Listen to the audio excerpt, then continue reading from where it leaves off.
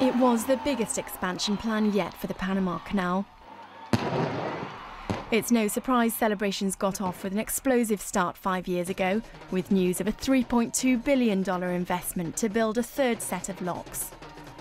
After all, traffic through the canal counts for a third of Panama's revenue, handling 5% of the world's maritime trade.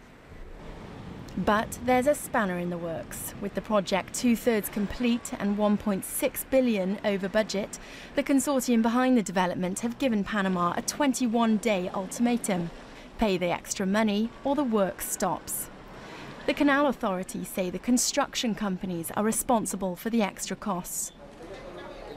President of Panama, Ricardo Martinelli, called for emergency talks with Italian and Spanish officials, who he says have a moral responsibility to help resolve the dispute.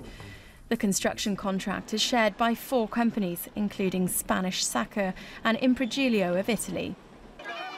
It was his previous business success that helped win President Martinelli the 2009 election, seen as a safe pair of hands to oversee the expansion, in turn helping the people of Panama.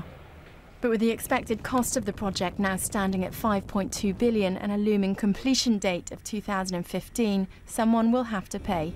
Susanna Orchard, BBC News.